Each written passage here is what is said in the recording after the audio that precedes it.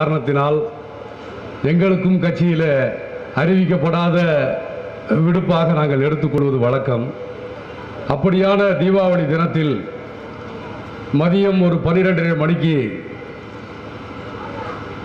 சென்னையிலிருந்து ஒருவர் தொலைபேசியில் அழைத்தார். ரொம்ப குரல் தழுதழுத்தபடி அவருடைய குரல் இருந்தது. என்னை உங்களுக்கு தெரியுமா என்று கேட்டார்.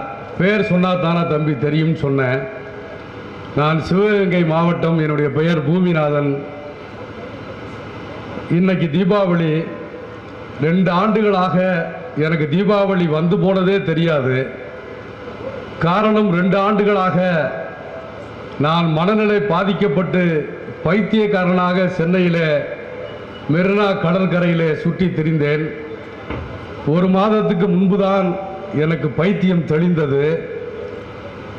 நான் என்னுடைய ஃபேஸ்புக்கில் நான் பார்க்கிற போது உங்களுடைய பெயர் அதில் சாதி கொடுமைக்கு எதிராக தீண்டாமை ஒழிப்பு முன்னணி நடத்தி கொண்டிருக்கிற பல்வேறு பதிவுகளை பார்த்தேன்.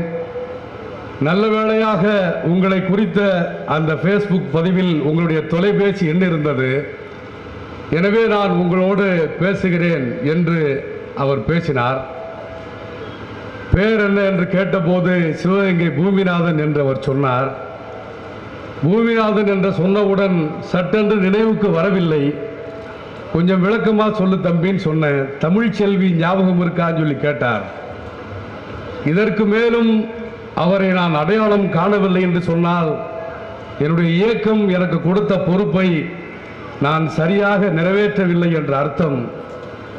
தம்பி உன்னைத்தானே நாங்கள் நீண்ட காலமாக தேடி திரிந்தோம். எப்படி இருக்கிறாய் என்று கேட்டபோது அவன் சொன்னான் அதுதான் சொன்னேனே இரண்டாண்டு காலமாக பைத்தியமாக இருந்தேன் என்று சொன்னான்.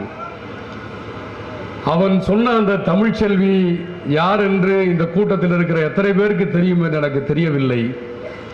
நம்முடைய சிவகங்கை மாவட்டத்தில் பிற்படுத்தப்பட்ட சமூகத்தில் பிறந்த தமிழ்ச்செல்வி பட்டதாரி அதே கிராமத்தில் குடியிருக்கிற தாழ்த்தப்பட்ட சமூகத்தை சார்ந்த ஒரு பட்டதாரி இளைஞருக்கு அவருக்கு காதல் ஏற்படுகிறது.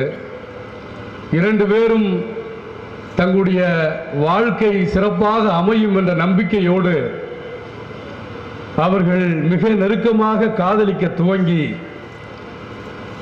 அவர்கள் திருமணமும் செய்து கொள்கிறார்கள்.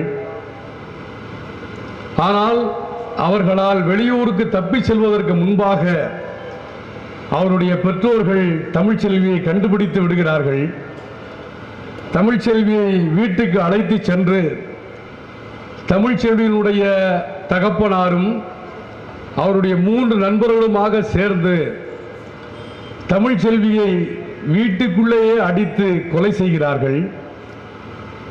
இரவு நேரத்தில் நான்கு பேரும் தன்னுடைய பெற்ற பிள்ளையை தூக்கி கொண்டு மயானத்துக்கு எரியூட்டுவதற்காக செல்கிறார்கள். எரி மேடையை தயார் செய்கிறார்கள். சாணத்தை அடுக்கி பெட்ரோலை ஊற்றி எரிமேடையை தயார் செய்கிறார்கள். மரணமடைந்து விட்டால் என்று அவர்கள் நினைத்துக் கொண்ட தமிழ்ச்செல்வி கடுமையான தாக்குதலால் மயக்கம் அடைந்திருக்கிறார் கண் விழித்து தமிழ்ச்செல்வி பார்க்கிறாள் தன்னை எரிப்பதற்கான ஒரு மேடையை தன்னுடைய தகப்பன் தயார் செய்து கொண்டிருக்கிறான். தமிழ்ச்செல்வி எழுந்து அமர்ந்து தீனமான குரலில் தந்தையை அப்பா என்று அழைக்கிறாள் அப்பா திரும்பி பார்க்கிறார்.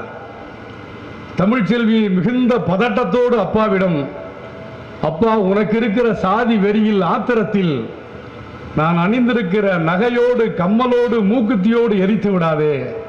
இதையெல்லாம் களத்தி எடுத்து வைத்துக்கொள்.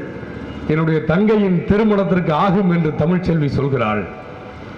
யோசித்து பாருங்கள் தமிழ் சமூகமே செல்லூர் பகுதியில் கூடியிருக்க அன்புக்குரிய தோழர்களே இப்படியான ஒரு சூழல் ஒரு தகப்பனுக்கு ஏற்பட்டால் ஐயோ செத்துவிட்டால் என்று நினைத்த என்னுடைய மகள் நம்முடைய சமூகம் எப்படிப்பட்ட சமூகம் என்று கேட்டால் வீட்டை விட்டு வெளியேறுகிற போது பூனை குறுக்கே வந்தால் கூட பயணத்தை ஒத்திவைக்கிற சமூகம். செத்துவிட்டால் என்று நினைத்துக் கொண்டிருந்த மகள் அதிர்ஷ்டவசமாக எழுந்து விட்டாளே என்று தகப்பன் மார்போடு அணைத்து அந்த பிள்ளையை வீட்டுக்கு தூக்கி வந்திருப்பான் என்றுதான் நீங்கள் நினைத்திருப்பீர்கள். ஆனால் தமிழ்ச்சேவனுடைய தகப்பன் அப்படி செய்யவில்லை. இன்னுமா நீ சாகவில்லை. சாதியை கெடுத்தவளை என்று சொல்லி மீண்டும் அவருடைய தலையில் மரக்கட்டையால் அடித்து தமிழ்ச்செல்வியை கொலை செய்து மயானத்தில் எரிக்கிறார்கள். இப்படியான ஒரு தமிழ் சமூகத்தில் தான் தீண்டாமை ஒழிப்பு முன்னணி இந்த மாநாடை நடத்தி கொண்டிருக்கிறார்.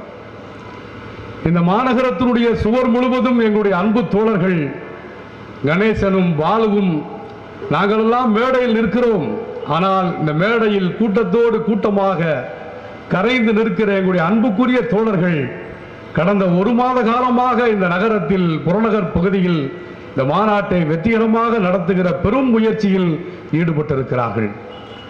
எங்களுடைய மிகப்பெரிய கனவாக நாங்கள் இந்த மாநாட்டை கருதுகிறோம்.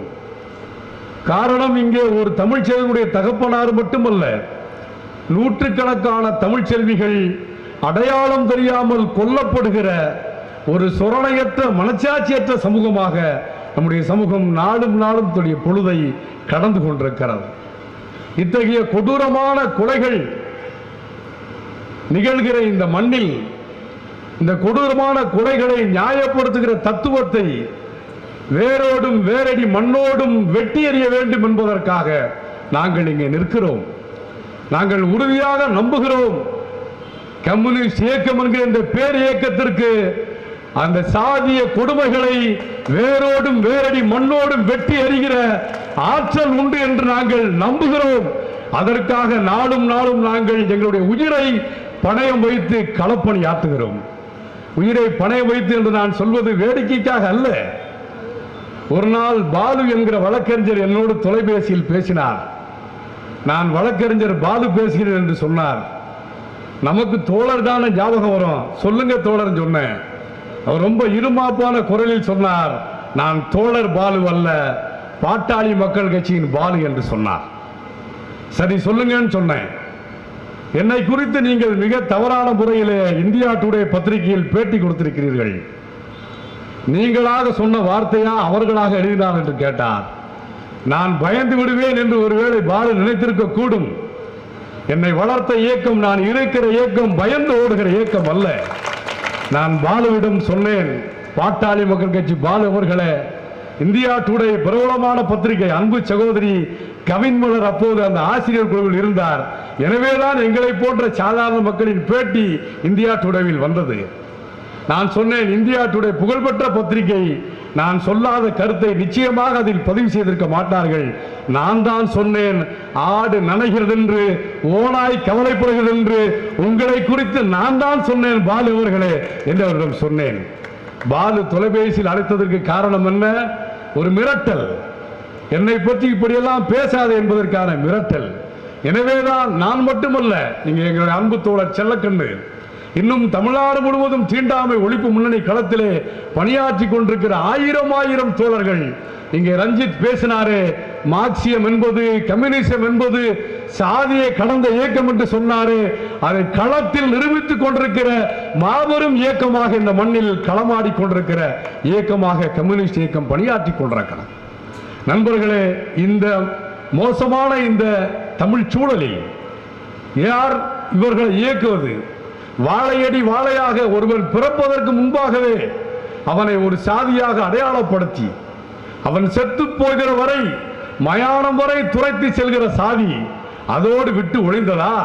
செத்து போனவனுடைய பிள்ளைக்கும் கைமாற்றி கொடுக்கிற பரம்பரை பரம்பரையாக வருகிற பெரும் நோய் பிடித்த சமூகமாக இந்திய சமூகம் இருக்கிறது. இங்கே தீட்டு புனிதம் என்கிற இரண்டு கருத்தாக்கங்கள் இந்திய சமூகத்தை பிளவுபடுத்தி தனித்தனியாக போட்டிருக்கிறது மிக சமீபத்தில் எங்கள் கட்சியினுடைய மிக முக்கியமான தலைவர் ஒருவர் வி. மீனாட்சி சுந்தரம் என்கிற எங்களுடைய தலைவர் அமெரிக்காவுக்கு போய்விட்டு வந்து என்னை தொலைபேசியில் அழைத்தார். அமெரிக்காவுக்கு போய்விட்டு வந்தேன் என்று சொன்னார். வாழ்த்துக்கள் தோழர் என்று சொன்னேன். உனக்காக ஒரு அன்பளிப்பு வாங்கிட்டு வந்திருக்கிறேன். நீ அதை வந்து பெற்றுக்கொள்ள வேண்டும் என்று சொன்னார். சென்னையில் ஒரு இடத்துல இருந்து இடம் போகிறது எவ்வளோ கஷ்டம்னு சமீபத்தில் குடியேறின பரதீஸ்வரன் நம்ம தோழர்கிட்ட கேட்டால் தெரியும். சென்னை பயணம் என்பது அவ்வளவு கடுமையான பயணம்.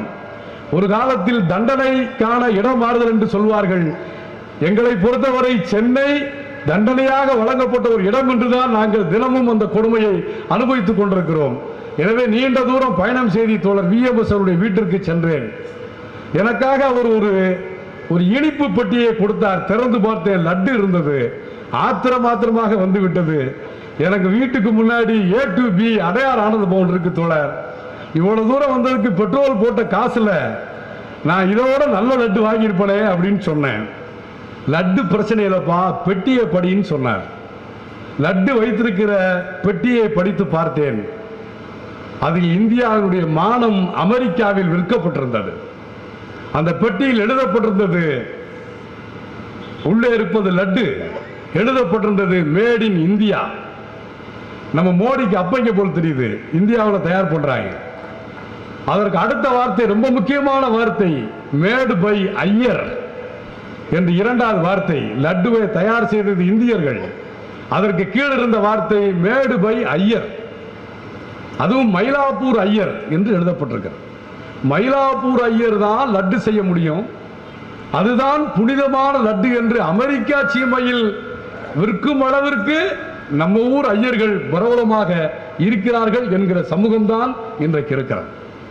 எனவே ஒரு குறிப்பிட்ட சமூகங்கள் புனிதமான சமூகங்கள் குறிப்பிட்ட சமூகங்கள் தீட்டான சமூகங்கள் தீட்டு புனிதம் என்கிற இரண்டு சொல்லாடல்கள் இந்திய சமூகத்தை பல கூறுகளாக பிரித்து போட்டு வகுந்து கொண்டிருக்கிற ஒரு கொடுமையை நாம் பார்த்து கொண்டிருக்கிறோம். யார் உருவாக்கிய இந்த தீட்டு என்கிற வார்த்தையை உலகம் முழுவதும் தேடினால் ஆங்கில அகராதியில் தீட்டு என்ற வார்த்தைக்கு நேரடியான பொருள் கிடைக்கவில்லை. உங்கள் கையில் இருக்கக்கூடிய கையில் இருக்கக்கூடிய ஆண்ட்ராய்டு போனில் நீங்கள் இப்போது கூட முயற்சி செய்து பார்க்கலாம். தீட்டு என்கிற தமிழ் சொல்லிற்கு நிகரான ஆங்கில சொல் அகராதியிலே கிடையாது. புனிதம் என்ற வார்த்தை உலகம் முழுவதும் பயன்படுத்தப்படுகிறது. இங்கே வேதத்தை புனிதம் என்கிறார்கள். ஐரோப்பிய நாடுகளில் பைபிளை புனிதம் என்கிறார்கள். ஹோலி பைபிள் என்று சொல்கிறார்கள். ஐரோப் நம்முடைய அரபு நாடு- நாடுகளில் குரான் ஹோலி பு- குரான் என்கிறார்கள். புனிதமான குரான் என்று சொல்கிறார்கள். ஆனால் உலகத்தில் புனிதம் என்ற வார்த்தை இருக்கிறது. தீட்டு என்கிற வார்த்தை இந்தியாவை தவிர வேறு எந்த நாட்டிலும் இல்லை என்று நான் உறுதியாக சொல்கிறேன். காரணம் இங்கேதான் தீட்டான சாதி இருக்கிறது. எனவே தீட்டு என்ற வார்த்தை இந்த மண்ணில் இருக்கிறது. இங்கே எல்லாம் தீட்டு புனிதம் என்கிற பெயரால் பிரிக்கப்பட்டிருக்கிறது. எதற்காக நம்முடைய சகோதரர்கள் தோழர்கள் நாடு முழுவதும் உணாவில் இன்னும் பல்வேறு இடங்களில் கொல்லப்படுகிறார்கள்? பசு புனிதமானது. விலங்குகளில் பசு புனிதமானது. மொழிகளில் சமஸ்கிருதம் புனிதமானது. ஆறுகளில் கங்கை புனிதமானது. மனிதர்களில் யார் புனிதமானவர்கள் என்று அவர்கள் அடையாளம் காட்டுகிறார்கள். ஒருவேளை நீங்கள் நினைக்கலாம் ஒரு குறிப்பிட்ட சாதி தன்னை புனிதமான சாதி என்று சொல்லிக் கொண்டால் உங்களுக்கு என்ன வந்தது என்று நீங்கள் கேட்கலாம். அப்படித்தான் நம்மளை பார்த்து பல பேர் கேட்கிறார்கள்.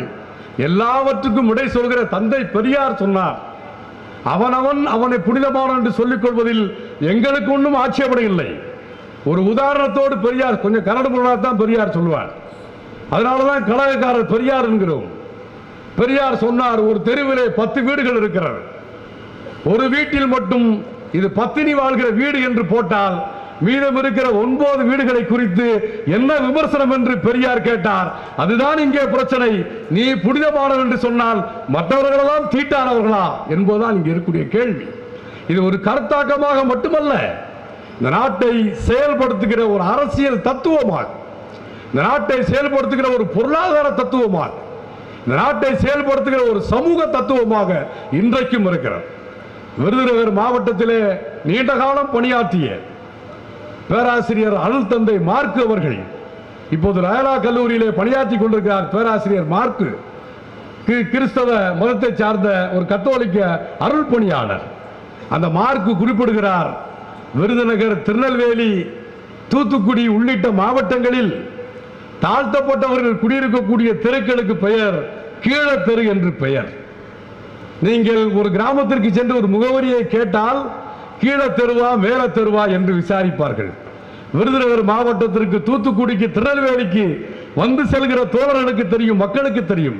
கீழே தெருவா மேல தெருவா என்கிற பெயரால் தீட்டும் புனிதமும் அங்கே செயல்பட்டுக் கொண்டிருக்கிறது. மார்க்கு இதோடு நிறுத்தவில்லை. இந்த பகுதியில் வாழக்கூடிய தாழ்த்தப்பட்ட மக்கள் தெருக்கள் கீழத்தெருவில் அமைந்திருக்கிற காரணத்தினால் கிழக்கு திசையில் அமைந்திருக்கிற காரணத்தினால் அவர்களுக்கு கீழத்தெருவாசிகள் என்று பெயர் வந்தது. மார்க்கு அதோடு நிறுத்தவில்லை. ஏன் இவர்களெல்லாம் சொல்லி வைத்ததைப் போல? யாரோ வந்து சர்வே செய்து அளந்து கொடுத்ததைப் போல? எப்படி தலித் மக்களுடைய குடியிருப்புகள் கீழத்தெருவிலே அமைந்தது என்ற கேள்விக்கு மார்க் பதில் சொல்கிறார். அது தாழ்த்தப்பட்டு இருக்கிற எல்லா சாதிகளுக்கும் பொருந்தும் காரணம் இந்த தென் மாவட்டங்களில் காற்று கிழக்கே இருந்து வராது. மேற்கே இருந்து வரும் வடக்கே இருந்து வரும். எனவே காற்று ஒரு ஊருக்குள் முதலில் வருகிற திசையில் தாழ்த்தப்பட்டவர்கள் குடியிருக்க கூடாது. எனவே அவர்கள் கிழக்கு பக்கமாக ஒதுக்கி வைத்து விடுவோம் காற்று கிழக்கு புறம் இருந்து ஊருக்குள் வராது. அவர்கள் மீது பட்ட காற்று நம் மீது படக்கூடாது. தோழர்களை நண்பர்களை இன்றல்ல.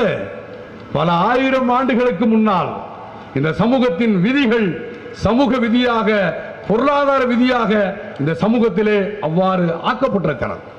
எனவே அந்த விதியை மீறாத ஒரு சமூகமாக இன்றைக்கும் நம்முடைய தமிழ் சமூகம் செயல்பட்டு வருவதை நாம் பார்க்கிறோம். எனவேதான் இங்கே வாழ்கிற எல்லா மனிதர்களும் தனக்கு இருக்கிற எல்லா பிரச்சனைகளை விட சாதி முதன்மையாக கருதும்படியான ஒரு சூழல் ஏற்பட்டிருக்கிறது. நாம் பார்க்கிறோம் இன்றைக்கு இந்தியாவை கார்ப்பரேட் முதலாளிகள் இந்தியாவினுடைய சொத்துக்களை எல்லாம் வகை வகை இல்லாமல் சூறையாடுகிற காலம் பக்கத்தில் இருக்கக்கூடிய ராமநாதபுரம் மாவட்டத்தில் துவங்கி சிவகங்கை மாவட்டம் வரை ஏறத்தாழ இருபத்தேழாயிரம் ஏக்கர் நிலத்தை ஒன்றல்ல இரண்டல்ல இருபத்தி ஏழாயிரம் ஏக்கர் நிலத்தை அதானி குழுமம் வாங்கியிருக்கிறது.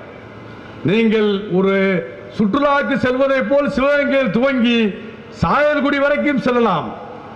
பத்தாண்டு இரண்டு ஆண்டுகளுக்கு முன்னால் நீங்கள் பார்த்த எந்த ஊரையும் பார்க்க முடியாது. எல்லா கிராமங்களிலும் காற்றாலை மின்சாரத்திற்கான சூரிய மின்சாரத்துக்கான ஏற்பாடுகளோடு நம்முடைய சிவகங்கை மாவட்டமும் அங்கே இருக்கக்கூடிய சாயல்குடி முதுகுளத்தூர் வரை எல்லா இடங்களிலும் நாம் பார்க்கிறோம் அதானியினுடைய சூரிய மின்சாரத்தை சூரிய மின்சாரத்தை உற்பத்தி செய்யக்கூடிய தகடுகளை பொறுத்து வைத்து ஊரெல்லாம் மினுங்கிக் கொண்டிருக்கிறது. ஒருவேளை நீங்கள் நினைக்கலாம் முன்னேற்றம் என்று நினைக்கலாம். இந்த நிலங்களை எல்லாம் விற்பனை செய்த விவசாயிகள் எவ்வளவு தொகைக்கு விற்பனை செய்தார் என்று பார்க்கிற போது அடிமாட்டு விலைக்கு அதானி அந்த நிலங்களை வாங்கி இருக்கிறார் அடிமாட்டு விலைக்கு நிலங்கள் கைமாறி இருக்கிறது. ஒன்றல்ல இரண்டல்ல இருபத்தி ஏழாயிரம் ஏக்கர் நிலம். இங்கே கைமாறி போய் இங்கே ஒரு அரசாங்கம் இருக்கிறது. மத்தியிலே ஒரு அரசாங்கம் இருக்கிறது. எங்கேயும் கேள்வி கேட்பார் இல்லாமல் இவ்வளவு நிலங்கள் கைமாறி இருக்க விற்பனையாக இருக்கிறது இந்த நேரத்தில் தான் அங்கே ஒரு அங்கே இருக்கக்கூடிய விவசாய சங்க தோழர்கள் நிலங்கள் கைமாறுகிற கதையை அவர்கள் தேடி கண்டுபிடித்து ஒரு ஏக்கர் நிலத்தை எவ்வளவுக்கு வாங்குகிறார் என்று பார்க்கிற போது அவ்வளவு அடிமாட்டு விலைக்கு வாங்குவதை அவர்கள் தடுப்பதற்காக அந்த விவசாயிகள் மத்தியிலே பணியாற்றி அவர்களை திரட்டி பெரும் போராட்டங்களை நடத்திய பிறகுதான் விவசாயிகள் விற்பனை செய்கிற நிலத்திற்கு உரிய விலையை பெற்றுத்தர முடிந்தது. ஒருவேளை நீங்கள் இங்கே இருக்கக்கூடிய பலர் நினைக்கலாம். இந்த நாட்டில் பொது உடல் இயக்கம் என்ன செய்தது என்று நினைக்கலாம். சாயல்குடியில் அந்த நிலத்திற்கு உரிய மதிப்பை பெற்றுக் கொடுத்தது கூட பொது உடைமை இயக்கம் தான் இயக்கம் தான் என்று நேரத்தில் நான் சொல்வேன். நான் இதை இங்கே சொல்வதற்கு காரணம் இங்கே நிலம் ஒரு எங்கே இருக்கக்கூடிய குஜராத்தில் இருக்கக்கூடிய ஒரு முதலாளி நமது ஊரில் நிலங்களை கொள்முதல் செய்வதை பற்றி நமக்கு கவலை கிடையாது. ஆனால் ஊர் தெருவிலிருந்து ஒரு பிள்ளை இருக்கட்டும் ஊர் தெருவிலிருந்து ஒரு பிள்ளையை காதலித்து கைபிடித்து சென்றால் தன்னுடைய சொத்து முழுவதும் போனதாக அடித்துக் கொள்கிற ஊரை கொளுத்துகிற ஊரையே எரித்து நாசமாக்குகிற ஒரு சாதிய மனநிலை நமது ஊரில் தொடர்ந்து இருப்பதை நாம் பார்க்கிறோம். இங்கே அருமை தோழர் ஆதவன் குறிப்பிட்டார் அம்பேத்கருடைய சிறைகளுக்கு ஏற்படக்கூடிய நிலைமை இந்த மண்ணில். நாம் பார்க்கிறோம் வட மாவட்டங்கள் தென் மாவட்டங்களில் அவ்வாறான சூழல் இல்லை. ஆனால் வட மாவட்டங்களில் அம்பேத்கருடைய சிலைகள் எல்லாம் கூண்டுக்குள்ளே நிற்ப நிற்கிறது. நான் திருவண்ணாமலை மாவட்டத்துடைய காவல்துறை கண்காணிப்பாளர். மரியாதைக்குரிய பொன்னி அவர்களை ஒரு நாள் நேரில் சந்தித்து கேட்டேன். மிக வருத்தமாக இருக்கிறது. அம்பேத்கரின் சிலைகள் எல்லாம் கூண்டுக்குள் இருக்கிறது என்று கேட்டேன். பொன்னி பதில் சொன்னார். சட்டம் ஒழுங்கை பாதுகாப்பதற்காக அப்படி வைத்திருக்கிறோம் என்று சொன்னார். இந்த நாட்டில் சட்டம் ஒழுங்கை பராமரிப்பதற்கான ஒரு அரசியல் சட்டத்தை ஆக்கி தந்தவனால் இந்த நாட்டில் சட்டம் ஒழுங்கு பிரச்சனை கெடும் அளவிற்கு நம்முடைய மக்களுடைய மனநிலை இருப்பதை நாம் எங்கே சேர்ப்பது? இன்றைக்கு தமிழ்நாட்டில் இந்தியாவில் இருக்கக்கூடிய பிற்படுத்தப்பட்ட பகுதி மக்களிடம் அம்பேத்கரை குறித்த செய்திகளை கொண்டு போய் சேர்ப்பதில் நாங்கள் எங்களுடைய பிரதான கடமை என்று நாங்கள் கருதுகிறோம். இந்த உத்தபுரத்தில் சுவரை நாங்கள் இடித்தோம். எங்களுடைய அன்பு தோழர் பொன்னையா அங்கே அமர்ந்திருக்கிறார். உத்தபுரம் சுவர் இடிப்பின் அடையாளமாக இன்றைக்கு நான் எங்களுடைய அருமை தோழர் செல்லக்கிழவரிடம் பேசுகிற போது குறிப்பிட்டார் தோழர் கோவிந்தராஜ் குறிப்பிட்டார் அகில இந்திய மாநாட்டினுடைய முகப்பை நாங்கள் அலங்கரிப்பதற்கு உத்தபுரம் சுவர் என்கிற அடையாளத்தை நாங்கள் வைக்கப் போகிறோம் என்று தோழர்கள் சொன்னார்கள். இந்தியாவில் மட்டுமல்ல உலகம் முழுவதும் ஈர்த்த ஒரு பேரடையாளமாக உத்தபுரம் இருக்கிறது சுவர் இருக்கிறது. அங்கே சுவரை இடித்தோம். அதைவிட பிரதான கடமையாக தீண்டாமை ஒழிப்பு முன்னணி இப்போது கருதுவது புரட்சியாளர் அம்பேத்கர் பேராசான் மார்க்ஸ் தந்தை பெரியார். இவர்கள் மூன்று பேருக்கு இடையிலே பெரும் சுவரை இந்த மண்ணிலே கட்டி வைத்திருக்கிறார்கள். உழைக்கும் மக்களுக்கான போராட்ட தத்துவங்கள் ஒன்று சேர்ந்து விடக்கூடாது என்று அங்கே சுவரை எழுப்பி வைத்திருக்கிறார்கள். எங்களுடைய முதல் கடமை உத்தபுரம் சுவரை இடித்தது மட்டுமல்ல பெரியாருக்கும் அம்பேத்கருக்கும் இடையில் பெரியாருக்கும் மார்க்சுக்கும் இடையில் மார்க்சுக்கும் பெரியாருக்கும் இடையில் ஆதிக்க சமூகம் கட்டி வைத்திருக்கக்கூடிய அந்த சுவரை இடிப்பதுதான் எங்களுடைய முதல் கடமை என்று நாங்கள் பணியாற்றி கொண்டிருக்கிறோம். இன்றைக்கு பிற்படுத்தப்பட்ட மக்களுடைய ஒவ்வொரு வீட்டிலும் இருக்க வேண்டிய இந்த படங்கள் பேராசான் மார்க்சனுடைய படங்கள் அம்பேத்கருடைய படங்கள் பெரியாருடைய படங்கள் தான் இந்தியாவில் வாழ்கிற ஒவ்வொரு பிற்படுத்தப்பட்ட தாழ்த்தப்பட்ட வீடுகளிலும் இருக்க வேண்டிய படங்கள். நான் அழுத்தி சொல்வதற்கு காரணம் என்ன? தேர்தலோடு பொருத்தி பார்ப்போம். தேர்தலோடு பொருத்தி பார்ப்போம். ஆர்கே நகர் தேர்தல் ரத்து செய்யப்பட்டது. காரணம் தெரியுமா உங்களுக்கு? பன்னீர்செல்வம் ஓட்டுக்கு மூவாயிரம் கொடுத்தார். திமுக தளபதி ஸ்டாலின் ஐயாயிரம் கொடுத்தார். ரெண்டையும் கூட்டினா மூவஞ்சா பதினஞ்சு. எனவே பதினைஞ்சாயிரம் தருகிறேன் என்று ஒரு ஓட்டுக்கு தினகரன் கொடுத்தார். இவ்வளவு ஓட்டுக்கான பணத்தையும் எந்த வீட்டிலும் மறுதளிக்காமல் வஞ்சகம் இல்லாம வாங்கினாங்க. எல்லா வீடுகளையும் பெருவாரியான வீடுகளில் வாங்கினாங்க. தேர்தல் களத்தில் நாங்கள் சந்தித்தோம். இந்த வாக்குகளுக்காக படம் பெறுகிற மக்களை பார்த்து நான் கேட்கிறேன். நீங்க ஓட்டு போடுறதை விடுங்க. இந்த ஓட்டு உரிமை வாக்குரிமை இந்த மண்ணில் யார் பெற்றுக் கொடுத்த உரிமை என்பதை நாம் நினைவில் கொண்டு பார்க்க வேண்டும். நம்முடைய நாட்டில் ஒரு அறுபது ஆண்டுகளுக்கு முன்னால் வாக்களிக்கிற உரிமை எல்லோருக்கும் பொதுவானது கிடையாது. வாக்களிப்பதற்கு இரண்டு தகுதிகள் இருக்க வேண்டும். ஒன்று அவன் படித்தவனாக இருக்க வேண்டும் இரண்டு அவன் கையிலே பட்டா இருக்க வேண்டும். சொத்தில்லாதவன் படிக்காதவன் வாக்களிப்பதற்கு இந்த நாட்டில் உரிமை கிடையாது. ஆனால் இன்றைக்கு எல்லோருக்கும் உரிமை இருக்கிறது. இந்த நாட்டில் அப்படியான ஒரு கொடூரமான தேர்தல் முறை இருந்தது. அம்பேத்கர் அவர்கள் இன்றைக்கு நவீன விஞ்ஞானம் வளர்ந்திருக்கிறது. நாம் இந்த நாட்டினுடைய தரவுகளை ஒரு நம்மால் ஒரு நிமிடத்தில் பத்து நிமிடத்தில் எடுக்க முடியும். எங்களுடைய தோழர்கள் அப்படியான தரவுகளை எடுத்து எங்களை போன்ற களப்பணியாளர்களுக்கு கொடுத்து உதவி கொண்டிருக்கிறார்கள். அதாவது அம்பேத்கர் வாழ்ந்த காலத்தில் இணையம் கிடையாது. தரவுகளை சேகரிப்பது அவ்வளவு கொடூரமான விஷயம். அம்பேத்கர் அவர்கள் மும்பை மாநிலத்தினுடைய ஒரு குறிப்பிட்ட தொகுதியை அவர் சர்வே செய்து அவர் பிரிட்டிஷ் அரசாங்கத்திடம் தன்னுடைய ஆவணத்தை சமர்ப்பிக்கிறார். இந்த குறிப்பிட்ட தொகுதியில் பிற்படுத்தப்பட்ட சமூகத்தை சார்ந்தவர்கள் அறுபதாயிரம் பேர் இருக்கிறார்கள். இந்த குறிப்பிட்ட தொகுதியில் தாழ்த்தப்பட்ட சமூகத்தை சார்ந்தவர்கள் பன்னிரெண்டாயிரம் பேர் இருக்கிறார்கள். பிராமண சமூகத்தை சார்ந்தவர்கள் இரண்டாயிரம் பேர் இருக்கிறார்கள். ஆனால் இதுவரை நடைபெற்ற எல்லா தேர்தல்களிலும் பிராமணர்கள் மட்டும்தான் வெற்றி பெறுகிறார்கள். மற்றவர்களால் வெற்றி பெற முடியவில்லை என்று அம்பேத்கர் குறிப்பிடுகிறார். நான் பிற்படுத்தப்பட்ட சமூக இளைஞர்களை பார்த்து பணிவோடு கேட்டுக்கொள்ள விரும்புகிறேன். இவ்வாறான ஒரு க- ஒரு ஒரு சர்வே எடுத்து பிரிட்டிஷ் அரசாங்கத்திடம் ஆயிரத்தி தொள்ளாயிரத்தி பத்தொன்பதில் இந்தியாவிற்கு வந்த சவுத் பேரோ கமிஷனிடம் அம்பேத்கர் வழங்குகிறார். ஏன் அறுபதாயிரம் பேர் இருக்கிற பிற்படுத்தப்பட்ட பிற்படுத்தப்பட்டோரில் ஒரு சட்டமன்ற உறுப்பினர் வர முடியவில்லை? பனிரெண்டாயிரம் பேர் இருக்கிற தாழ்த்தப்பட்டோரில் சட்டமன்ற உறுப்பினர் வர முடியவில்லை. ஆனால் ரெண்டாயிரம் பேராக இருக்கக்கூடிய பிராமண குடும்பங்களில் தொடர்ந்து சட்டமன்ற உறுப்பினர் வருகிறார்கள் என்ற காரணத்தை அம்பேத்கர் விளக்குகிறார். அறுபதாயிரம் பேர் இருக்கிற பிற்படுத்தப்பட்டோரில் வெறும் பத்து பேருக்கு தான் வாக்களிக்கிற உரிமை இருக்கிறது. பனிரெண்டாயிரம் பேர் இருக்கிற தாழ்த்தப்பட்டோரில் இரண்டு பேருக்கு மட்டும் தான் வாக்களிக்கிற உரிமை இருக்கிறது. ரெண்டாயிரம் பேர் இருக்கிற பிராமணர்களில் ஆயிரம் பேருக்கு வாக்களிக்கிற உரிமை இருக்கிறது. என்கிற விவரத்தை அம்பேத்கர் எடுத்து தருகிறார். காரணம் அவர்கள்தான் படித்தவர்களாக அவர்கள்தான் பட்டம் பெற்றவர்களாக இருக்கிறார்கள்.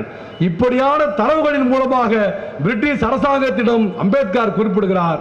இங்கே தாழ்த்தப்பட்டவனும் பிற்படுத்தப்பட்டவனும் கோவில் இருக்கிற தெருக்களுக்கு வரக்கூடாது என்று அவருடைய கல்வி உரிமை பறிக்கப்படுகிறது.